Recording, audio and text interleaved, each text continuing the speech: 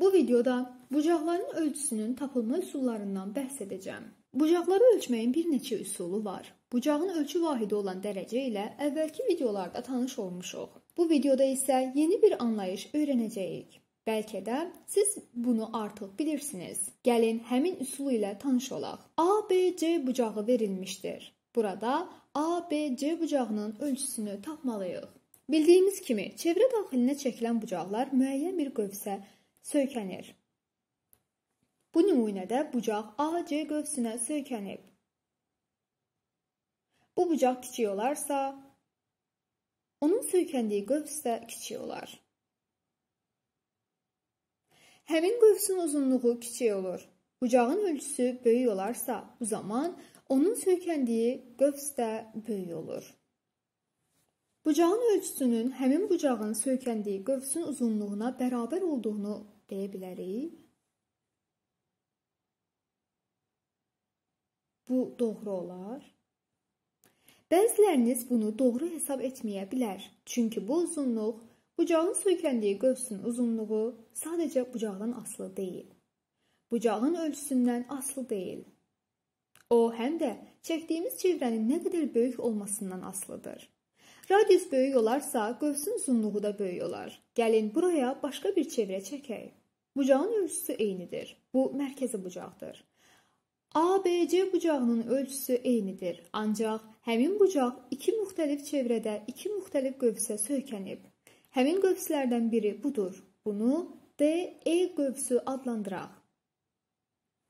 DE qövsünün uzunluğu AC qövsünün uzunluğuna bərabər deyil.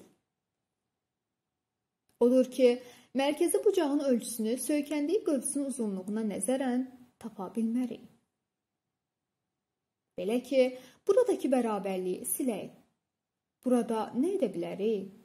Buradakı iki müxtəlif hissəyə nəzər salın. Onları ABC və DBE adlandıra bilərik. Onlar oxşardır. Burada Oxşar fiqurlardan bəhs etmirik. Ancaq onların oxşar olması nə deməkdir? Əgər oxşarlıq varsa, bu fiquru digərinin üzərinə köçürürüksə, burada sadəcə sabit dəyişmə yox, oxşar çevrilmə də istifadə edilə bilər. Burada ABC hissəsinə oxşar çevrilmə tətbiq edərək onun ölçüsünü bir qədər böyütdükdən sonra DBE üzərinə köçürə bilərik. Burada maraqlı məqam odur ki, fiqurlar oxşar olarsa, deməli, uyğun tərəflərin nisbəti bir-birinə bərabərdir. Məsələn, AC qövsünün uzunluğunun BC parçasının uzunluğuna olan nisbəti DE qövsünün uzunluğunun BE parçasının uzunluğuna olan nisbətinə bərabərdir. Bucaqları ölçmək üçün bu yaxşı bir üsul ola bilər. Bu, həndəsədə və triqonometriyada tez-tez qarşılaşdığımız bir ölçü sistemidir. Buna bucağın radian ölçüsü deyilir. Radian bucağın söykəndiyi qövsün uzunluğunun radiusa olan nisbətinə bərabərdir. Hər iki nümunədə bunu gördük. Gəlin bunu aydınlaşdırmağa çalışaq. Buraya bir çevrə çəkək. Bu mərkəz nöqtəsidir. Bunu F adlandıra bilərik. Burada bir bucaq tərtib edək. Bu düz bucaqdır. Bunu F adlandıraq. Bu nöqtə G, bu isə H nöqtəsidir. Radiusun 2 metrə bərabər olduğunu fərz edin. GFH bucağının söykəndiyi qövsün uzunluğu nəyə bərabərdir? Bu, bütün çevrənin uzunluğunun dörddə bir hissəsinə bərabərdir. Çevrənin uzunluğunun nəyə bərabər olduğunu buraya yazaq. C bərabərdir 2pi vur radius. Yəni 2pi vur 2 metr. Bu 4pi metrə bərabərdir. Qövsün uzunluğu onun dörddə bir hissəsinə, yəni pi metrə bərabərdir. Qövsün uzunluğu və radiusu əsasən GFH bucağının ölçüsünü radianla necə ifadə edə bilərik? GFH bucağının radian ölçüsünün bucağın söykəndiyi qövsün uzunluğunun radiusa nisbətinə bərabər olduğunu deyə bilərik.